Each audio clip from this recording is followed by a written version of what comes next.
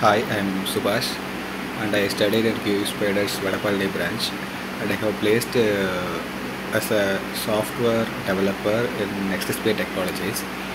Uh, QSpider is a very good place to learn uh, and the friendly faculties are the biggest support to the, to the students. Uh, they are very much concerned about the student's career and I always be thankful to the uh, Uh, faculties of the institution. Thank you.